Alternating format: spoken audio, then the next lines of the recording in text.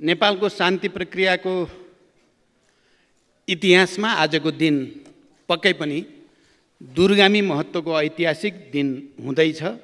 म यस अवसरमा सङ्घीय लोकतान्त्रिक गणतन्त्रको निम्ति शान्तिको निम्ति स्थिरता र विकासको निम्ति आफ्नो प्राण आहुति गर्ने ती हजारौँ शहीदहरू जो जनयुद्ध जनआन्दोलन मधेस आन्दोलन आदिवासी जनजाति र उत्पीडित वर्ग समुदायको आन्दोलनमा ज्यान गुमाउने सम्पूर्ण शहीदहरूप्रति हार्दिक श्रद्धाञ्जली व्यक्त गर्न चाहन्छु र सम्पूर्ण बेपत्ता हुने घाइते अपाङ्ग सबैप्रति पनि हार्दिक सम्मान व्यक्त गर्न चाहन्छु र ती महान शहीदहरूका आदरणीय परिवारजनहरूप्रति पनि म यस अवसरमा हार्दिक अभिवादन र सम्मान व्यक्त गर्न चाहन्छु। त्यसै गरी यस वर्ष अविरल वर्षा र बाढी पहिरोका कारण ज्यान गुमाउने ठुलो सङ्ख्याका नागरिकहरूप्रति पनि म श्रद्धा व्यक्त गर्न चाहन्छु। चाहे त्यो बाढी पहिरोमा होस् या हवाई दुर्घटनामा या बस दुर्घटनामा सयौँको सङ्ख्यामा नेपाली नागरिकहरूको ज्यान गएको छ धनजनको क्षति भएको छ त्यसप्रति म दुःख व्यक्त गर्न चाहन्छु। शान्ति प्रक्रियाको अभिन्न अङ्गका रूपमा सङ्क्रमणकालीन न्याय सम्बन्धी राजनीतिक सहमति अनुसार बेपत्ता पारिएका व्यक्तिको छानबिन सत्यनिरूपण तथा मेलमिलाप आएको विधेयक आज सम्मानित सदनले अनुमोदन यस सदनले अनुमोदन गरेको छ। यो सहमतिसँगै शान्ति प्रक्रियाले पूर्णता पाउनेछ भन्ने विश्वास व्यक्त गर्न सकिन्छ र हजारौँ शहीदहरूको सपना पुरा हुने विश्वास पनि आज पैदा भएको छ। शान्ति प्रक्रियाको पूर्णतासँगै राजनीतिक क्रान्तिको एउटा अध्यायले समेत पूर्णता पाएको छ र अब हामीलाई परिवर्तनका उपलब्धि संस्थागत गर्दै समृद्धिको एउटा महान यात्रामा अघि बढ्ने अझ फराकिलो बाटो हामीले प्राप्त गरेका छौँ भन्ने मलाई लाग्दछ। शान्ति प्रक्रियालाई आजको दिनसम्म ल्याइ पुर्याउन थुप्रै पात्रहरूले अथक प्रयास गर्नुभएको छ। म यस अवसरमा ती सबै पात्रहरू राजनीतिक दल र यसमा योगदान गर्ने नागरिक समाज विज्ञ बुद्धिजीवी सबैलाई पनि हार्दिक धन्यवाद दिन चाहन्छु। र हामी सबैको साझा प्रयासले नै हामी आज यो ठाउँमा आइपुगेका छौँ र ती सबैप्रति म आभारसहित धन्यवाद भन्न चाहन्छु पुनः। आज शान्ति प्रक्रियाका बाँकी कार्यभारसँग अत्यन्तै महत्त्वपूर्ण यो विधेयक पारित भइरहँदा म नेपाली कङ्ग्रेसका तत्कालीन सभापति गिरिजाप्रसाद कोइरालालाई पनि एकपटक फेरि सम्झिन चाहन्छु। मैले बैसठी सालमा शान्ति प्रक्रियाको पहल गर्दै गर्दा सात दलीय गठबन्धन एवं नेपाली कङ्ग्रेसका नेता गिरिजाप्रसाद कोइराला मेरो साझेदारको रूपमा हुनुहुन्थ्यो र सामाजिक न्यायसहितको सङ्घीय लोकतान्त्रिक गणतन्त्र निर्माण गर्ने सन्दर्भमा हामीले शान्ति प्रक्रियाका धेरै विषय मिले विषयमा मिलेर काम गरेको कुरा पनि म स्मरण गर्न चाहन्छु। अस्पतालको अन्तिम भेटमा उहाँले आफू पछि शान्ति प्रक्रियाको सम्पूर्ण जिम्मेवारी मेरो काँधमा रहेको बताउनु भएको कुरा पनि आज म एकचोटि फेरि स्मरण गर्न चाहन्छु। आज उहाँ हामी माझ हुनुहुन्न तर उहाँले सुम्पिएको जिम्मेवारी आज सबै राजनीतिक दलबिचको सहमतिसँगै पुरा भएको छ। यद्यपि यो कार्यान्वयन को जटिलता भने अझै पनि छ भन्ने म ठान्दछु। नेपालको शान्ति प्रक्रिया तात्कालीन नेपाल कम्युनिस्ट पार्टी माओवादीले एकसाठी सालको अन्ततिरबाट सुरु गरेको थियो। तात्कालीन राजा ज्ञानेन्द्रले एकसट्ठी माघमा निर्वाचित सरकारलाई अपदस्थ गरेर शक्ति हत्याएपछि निर्वाचित सरकारलाई अपदस्थ गरेर शक्ति हत्याएपछि हामीले त्यो अधिनायकवादी कदमलाई शान्ति स्थापनाको अवसरको रूपमा सदुपयोग गर्ने निर्णय गऱ्यौँ। माघ एकसट्ठीमा सेनाको सहयोगमा ज्ञानेन्द्रले मूलधारका दलहरूलाई समेत प्रतिबन्ध लगाएपछि मात्र सात दलीय गठबन्धन माओवादी पार्टीसँग सहकार्य गर्न तयार हुने वातावरण बनेको ऐतिहासिक तथ्य हामी सबैलाई थाहा छ। यस अर्थमा माओवादी पार्टी नै नेपालको शान्ति प्रक्रियाको प्रारम्भिक आरम्भकर्ता हो भन्न दुविधा मान्नुपर्ने कहीँ ठाउँ छ भन्ने मलाई लाग्दैन।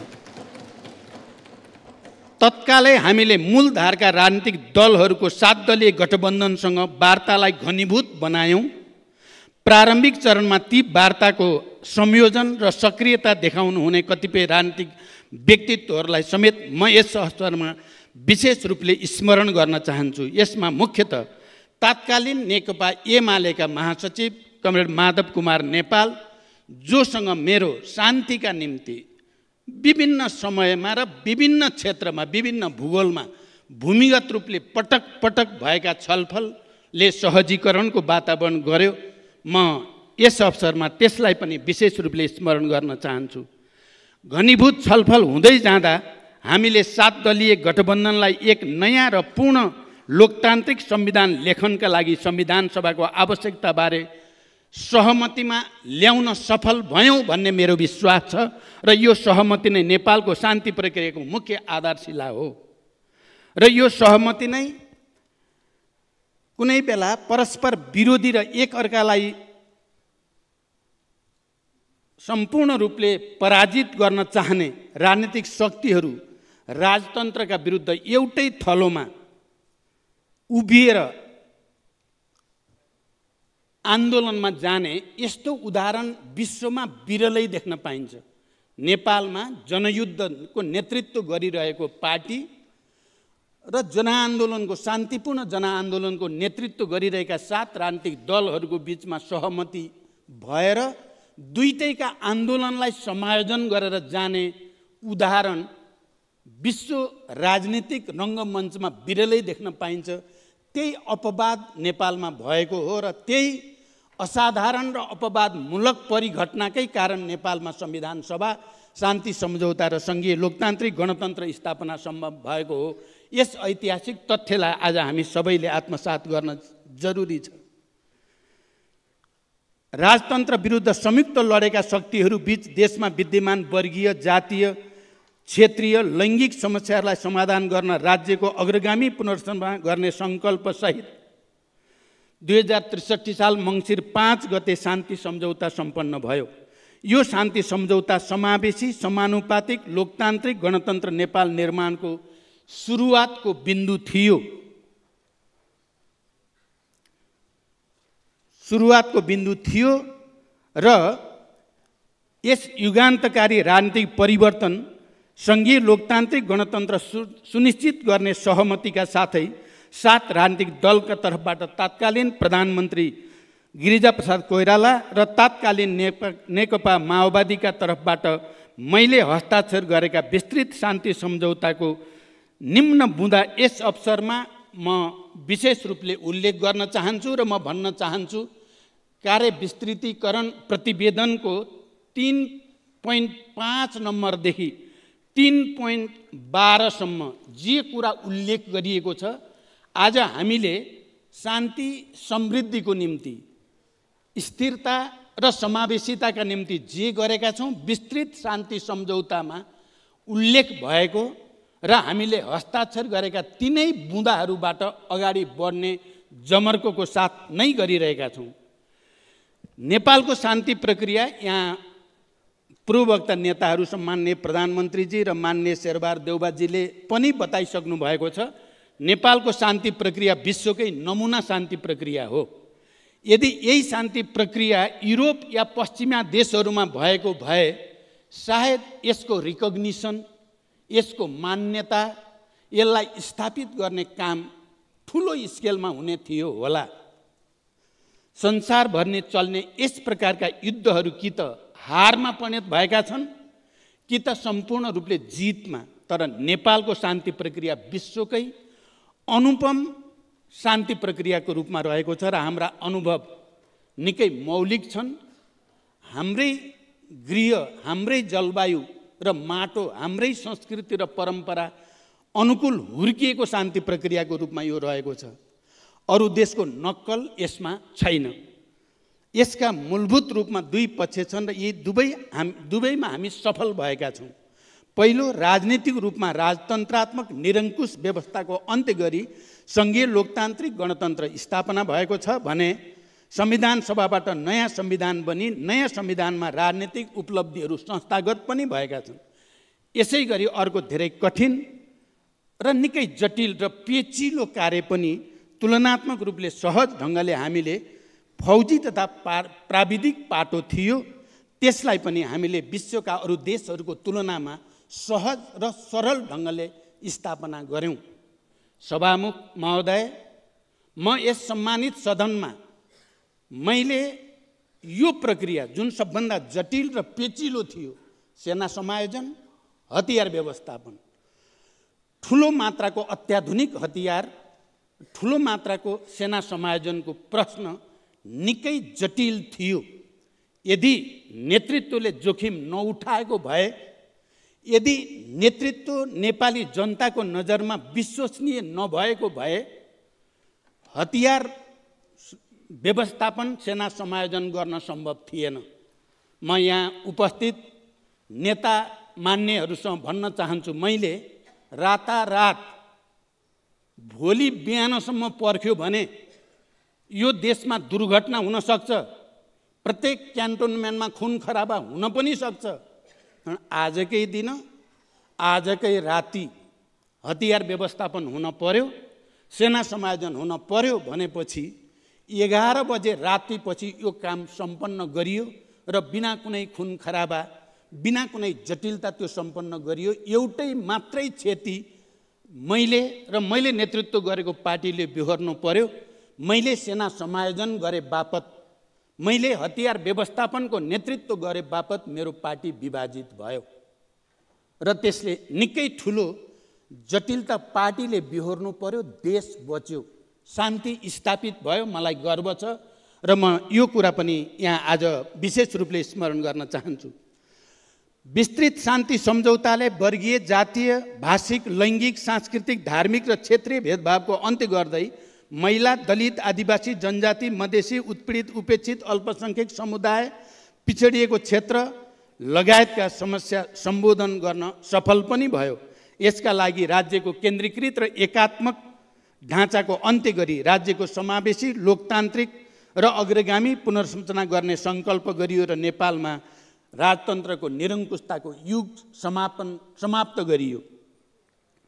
अर्को उल्लेखनीय पक्ष नेपालको शान्ति प्रक्रिया पूर्णता हुने अवधिभर अन्य धेरै द्वन्द्वग्रस्त मुलुकमा जस्तै कुनै ठुलो स्तरको हिंसा हामीले पुनः भोग्नु परेन। यसबाट के देखिन्छ भने नेपालको शान्ति प्रक्रियाले सबै नेपालीका लागि दिगो शान्तिको जग बसाइदिएको छ। शान्ति सम्झौताको जगमा आज नेपाल लैङ्गिक तथा सामाजिक समावेशीकरणको संवैधानिक व्यवस्थाका हिसाबले विश्वको सबभन्दा प्रगतिशील व्यवस्थाको रूपमा स्थापित भएको छ। संसद लगायत हामीले स्थानीय तहमा चालिस प्रतिशत महिलाको प्रतिनिधित्व सुनिश्चित गरेका छौँ भने संसद लगायत अन्य निर्णायक स्थानमा तेत्तिस प्रतिशत सहभागिता सुनिश्चित गरेका छौँ। संवैधानिक प्रावधान मार्फत दलित लगायत उपेक्षित उत्पीडित समूहको राज्यका विभिन्न तहमा समावेशी समानुपातिक प्रतिनिधित्व सुनिश्चित गरेका छौँ। सेना समायोजनसँगै हाम्रो सामु जनयुद्धले सतहमा ल्याएका वर्ग जाति लिङ्ग अनि शासन प्रणालीसँग जोडिएका कैयौँ समस्याहरू सम्बोधन गर्नुपर्ने चुनौती थियो। संविधान सभामा हामीले सहमत भए हामी सहमत भए पनि संविधानका अन्तर्वस्तुबारे हामी बिच कैन मतभेद पनि थिए। तर हामीले त्यसलाई समेत कुशलतापूर्वक सहमतिमा परिणत गऱ्यौँ सम्झौतामा परिणत गऱ्यौँ। संविधानलाई अधिकतम सहमतिको दस्तावेज बनाउने हामी मूलभूत रूपमा सफल भयौँ। नेकपा माओवादीले आफ्ना कैयौँ असहमतिलाई फरक मतका रूपमा दर्ता गरेर भए पनि राजनैतिक सहमति मार्फत संविधान जारी गर्ने नेतृत्वदायी भूमिका खेलेको कुरा पनि म यहाँ स्मरण गर्न चाहन्छु। बेपत्ता पारिएका व्यक्तिको छानबिन सत्यनिरूपण तथा मेलमेलवा आयोग विधेयक आज हामीले यहाँ पारित गरेका छौँ। लामो समयदेखि यो विधि विधेयक पीडित मैत्री हुन्छ कि हुँदैन भन्ने बारेमा हामीले विभिन्न स्तरमा गम्भीर संवाद गऱ्यौँ। हामीले देशभित्र विभिन्न पीडित सङ्घ संस्थाका प्रतिनिधिहरूसँग पीडित परिवारहरूसँग राष्ट्रिय र अन्तर्राष्ट्रिय सङ्घ संस्थाहरूसँग लामो समयदेखि निरन्तर संवाद गर्दै रह्यौँ। यो विधि पीडित मैत्री हुन्छ कि हुँदैन या यसले मेलमिलापको नाममा पीडितलाई थप पीडा दिन त होइन भन्ने चिन्ता हामी सबैले व्यक्त पनि गऱ्यौँ र यसलाई बढीभन्दा बढी पीडित केन्द्रित बनाउने कोसिस गऱ्यौँ। यो अन्तर्राष्ट्रिय मान्यता र परम्परा अनुसार स्थापित मूल्य मान्यता अनुसार हुन्छ कि हुँदैन? किनकि सुरुका दिनहरूमा यसमा धेरै नै विवाद के भयो भने यो हामी एमनेस्टीमा जाँदैछौँ हामीले गम्भीर मानवाधिकार उल्लङ्घनका घटनामा पनि हामी क्षमा दिँदैछौँ भन्ने प्रचार पनि धेरै भयो। हामीले त्यसलाई पनि चिर्यौँ र हामी ब्ल्याङ्केट एमनेस्टीको पक्षमा छैनौँ। गम्भीर मानवाधिकार उल्लङ्घनका घटनाहरूको चाहिँ त्यसको एक्जिक्युसनमा हामी जान्छौँ त्यसको न्यायिक निरूपण गर्छौँ भन्ने कुरा हामीले स्पष्ट गऱ्यौँ र यहाँसम्म आउँदा त्यस कुरामा अन्तर्राष्ट्रिय समुदायमा पनि अब कुनै भ्रम छ भन्ने मलाई लाग्दैन र अहिले यो विधेयकमाथि हामी छलफल गर्दै गर्दा अन्तर्राष्ट्रिय समुदायको पनि सबैको मूलभूत रूपमा सहमति रहेको भन्न पाउँदा मलाई खुसी र गर्वको पनि महसुस भएको छ। अहिले पनि शहीद परिवारले न्याय पाउन सकिसकेको स्थिति छैन बेपत्ता नागरिकका परिवार शान्तिले सुत्न पाएका छैनन् घाइते अपाङ्गहरूले उपचार पाउन सकेका छैनन् हामीले शान्ति कोष स्थापना गर्ने कुरा बजेट मार्फत सुनिश्चित गरे पनि त्यसको कार्यान्वयन अझै सुरु भएको छैन। त्यसैले यो विधेयकलाई सही अर्थमा कार्यान्वयन गर्न पनि चुनौती हाम्रो सामु छँदैछन्। त्यसैले यसको निम्ति पनि बिना कुनै आग्रह र पूर्वाग्रह हामीले सहमतिका साथ नै यो ऐतिहासिक र संवेदनशील कामलाई कार्यान्वयन गर्नुपर्नेछ र म यसको लागि पनि विशेष रूपले अपिल गर्न चाहन्छु। सभामुख महोदय यतिखेर देशको राजनैतिक परिस्थिति फेरिएको छ। हामीले शान्ति सम्झौता गर्दा जुन सङ्कल्प गरेका थियौँ सो अनुरूप शासन व्यवस्था जनअपेक्षा अनुसार अगाडि जान नसक्दा जनताबीच राजनीतिक प्रणालीप्रति नै वितृष्णा र निराशा बढ्दै गएको छ। हामी सबैले त्यो महसुस गरेका छौँ।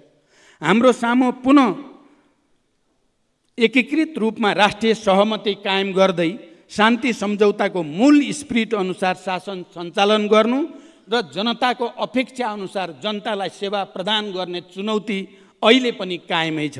हामी अग्रगमनको साटो उपलब्धि उल्ट्याउनेतिर सुशासनको साटो माफियाकरणतर्फ सामाजिक न्यायको साटो पीडकहरूलाई नै पुरस्कृत गर्न अघि बढ बढ्ने त होइनौँ भन्ने प्रश्न पनि यति बेला यत्र तत्र उठ्न थालेको छ। किनभने अहिलेको लोकतान्त्रिक गणतन्त्रको जगमा शान्ति सम्झौता रहेको छ भने शान्ति सम्झौताको आधार नेपाली जनताले वीरतापूर्वक लडेको जनयुद्ध थियो जुन कुनै लहर या मनोगत चाहना थिएन। न त यो कस यसको मूल चरित्र ध्वंसात्मक नै थियो। यो यो छयालिस सालको जनआन्दोलनले केही खुकुलो राजनीतिक वातावरण निम्त्याए पनि यसले नेपाली समाजको आधारभूत समस्या समाधान गर्न पुरै सकेको थिएन। बाहन्न सालमा क्रान्ति सुरु हुनु अघि शान्ति मुख्यत सम्भ्रान्त र सहरी क्षेत्रमै सीमित थियो। ग्रामीण क्षेत्रका अधिकांश जनता र तल्लो वर्गका जनता त्यसमा पनि विशेष गरी महिला दलित मुस्लिम मधेसी थारू आदिवासी जनजाति लगायत किसानहरू र श्रमिकहरू भने यो प्रक्रियाबाट लाभान्वित हुन सकिरहेका थिएनन्।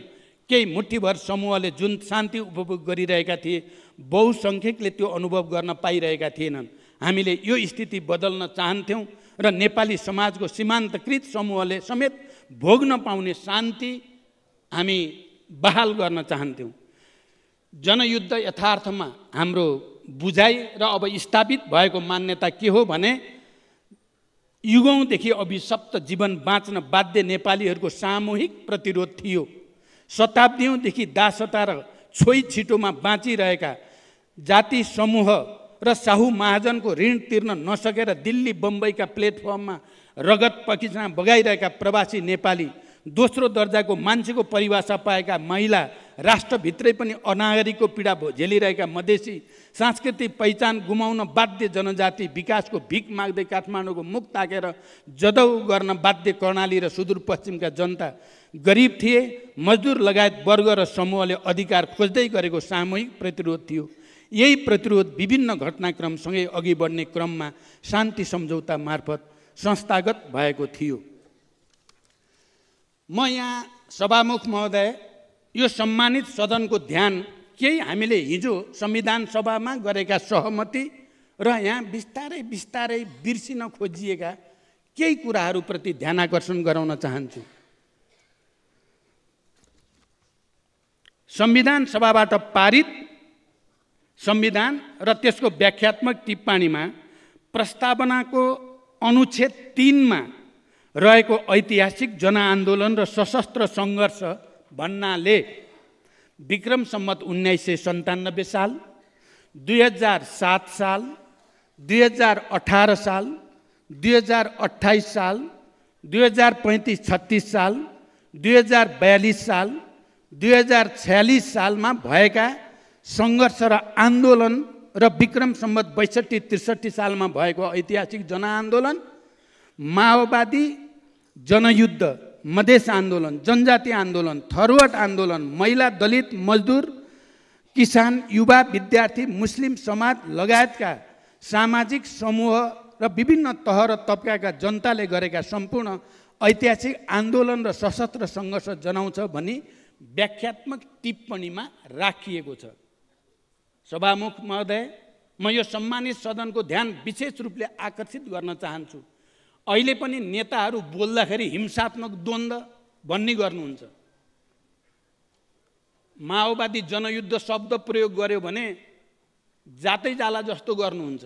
जबकि संविधान सभाबाट माओवादी जनयुद्ध भनेर लेखिएको छ। म यो कुरा पनि सभामुख महोदय यस सम्मानित सदनको ध्यान आकर्षण गर्न चाहन्छु कि त्यही प्रस्तावनाको अनुच्छेद तिनमा छलफल हुँदा यो तात्कालीन सभापति समितिको सभापति नेपाली कङ्ग्रेसका अहिलेका उपसभापति पूर्णबहादुर खड्काको सभापतित्वमा बसेको समितिले गरेको निर्णय हो यो र यो संविधान सभाद्वारा पनि पारित भएको छ।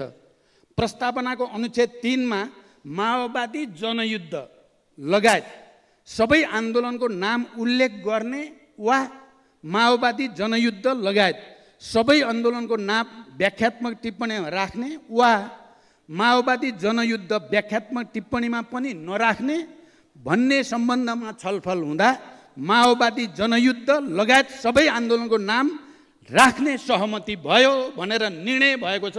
यो कुराको जानकारी होस्। म आदरणीय नेता साथीहरूलाई मान्य सदस्यहरूलाई संविधान सभाबाट सर्वसम्मतले पारित भएको यो व्याख्यात्मक टिप्पणीमा ध्यान आकर्षण गर्न चाहन्छु। शान्ति सम्झौतालाई हामी निष्कर्षमा पुर्याउँदैछौँ भने ती ऐतिहासिक परिघटनामा हामीले गरेका छलफलहरू भएका सहमतिहरूलाई विस्मृतिमा लैजाने हामी कसैले पनि काम गर्न हुँदैन भनेर पनि म अपिल गर्न चाहन्छु। हामीले नै त्यति बेला यी सबै कुराहरूमा एउटा वातावरण बनाएका थियौँ। यो एउटा उद्देश्यका साथ लडिएको युद्ध थियो। जनयुद्धको यही राजनैतिक इमान जनयुद्धको यही राजनैतिक र वैचारिक इमान नै शान्ति प्रक्रिया सफल हुनुको मुख्य कारण हो भनेर म यहाँ राख्न चाहन्छु।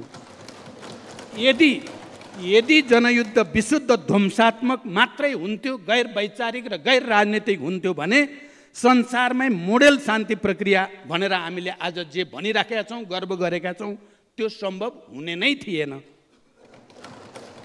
त्यसैले त्यसैले अहिलेको आवश्यकता हामी पछाडि फर्कने होइन।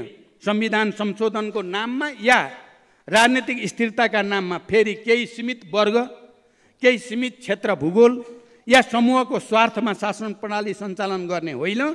अहिलेको आवश्यकता यी उपलब्धिहरूलाई रक्षा गर्दै नेपाली समाजका सबै विभेद अन्त्यका लागि अघि बढ्ने हो र तर तर कता कता पछिल्ला राजनीतिक कतिपय घटनाक्रमले यसमा शङ्का उत्पन्न हुने स्थिति बनेको छ। सुशासनको गति रोकिने त होइन भन्ने प्रश्न खडा भएको छ।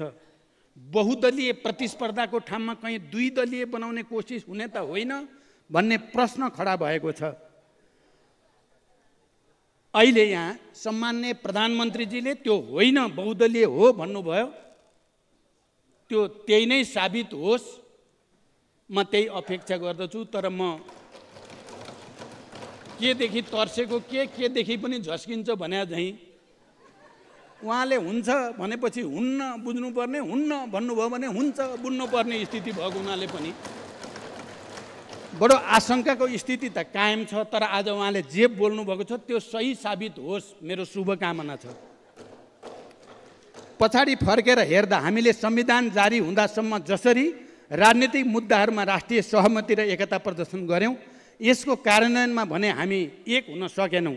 संविधानले माग गरेको राजनीतिक संस्कार राजनीतिक प्रणाली संस्थागत गर्ने चुनौती जनताका असीमित आकाङ्क्षा पुरा गर्नुपर्ने दायित्व अझै पुरा भएका छैनन्। संविधान जारी भएपछि भने हामी बिच उच्च स्तरका राष्ट्रिय सहमति आवश्यक थियो। तर त्यो जनताले अपेक्षा गरे अनुसार पुरा गर्न सकिएको छैन। अहिले शान्ति प्रक्रियालाई टुङ्ग्यौ पुर्याउ टुङ्गोमा पुर्याउने बेला व्यवस्थामा नै सङ्कट पर्ने हो कि? फेरि शान्ति सम्झौतामा हामीले गरेको सहमतिमै धरापमा पर्ने हो कि भन्ने प्रश्न पनि खडा भएको छ। म यस सन्दर्भमा पनि सम्मान्य प्रधानमन्त्रीजी र सभापति शेरबार देउबाजीलाई धन्यवाद भन्न चाहन्छु। तपाईँहरूले भने जस्तै अहिले समाजमा एउटा प्रवृत्ति देशमा अराजकता फैल्याउने सबै सामाजिक नैतिक मूल्य मान्यताका सीमा भत्काएर सभ्यताका संस्कारका सीमा भत्काउने प्रवृत्तिले टाउको उठाउन खोज्दैछ। यसलाई प्रतिवाद गर्न यो परिवर्तन ल्याउने सबै राजनीतिक दलहरू सबै सङ्घ संस्थाहरू लोकतन्त्रप्रति विश्वास गर्ने साँचो अर्थमा विश्वास गर्नेहरू समझदारीका साथ अगाडि बढ्ने आवश्यकता छ। हाम्रा वरिपरि हाम्रा छिमेकतिर हाम्रो दक्षिण एसियामा राजनीतिक घटनाक्रमहरू जसरी अगाडि बढेका छन् ती सबैले पनि हामी सबैलाई गम्भीर हुन एक अर्काप्रति निषेधको होइन एक अर्कासँग हातेमालो गरेर यो प्रवृत्तिको प्रतिवाद गर्नुपर्ने आवश्यकता झन् बढेको छ। यस अर्थमा म संविधानको रक्षाको लागि जनताले प्राप्त गरेका उपलब्धिको रक्षाको लागि लोकतन्त्रको सुदृढीकरणको लागि र जनतालाई थप अधिकार सम्पन्न बनाउनको लागि सबैसँग मिलेर जान तयार छु।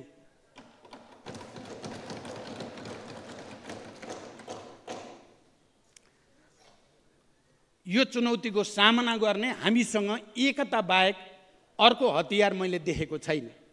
हामीले यो चुनौतीको सामना गर्नै पर्नेछ। आज शान्ति सम्झौतामा हस्ताक्षर गर्नुहुने गिरिजा प्रसाद कोइराला हामी बिच हुनुहुन्न। तर अर्को हस्ताक्षरकर्ताका हैसियतले शान्ति प्रक्रियाको मर्मलाई मर्न नदिन म अन्तिम समयसम्म लागि पर्ने विश्वास र प्रतिबद्धता पनि म चाहिँ सम्मानित सदनमा व्यक्त गर्न चाहन्छु।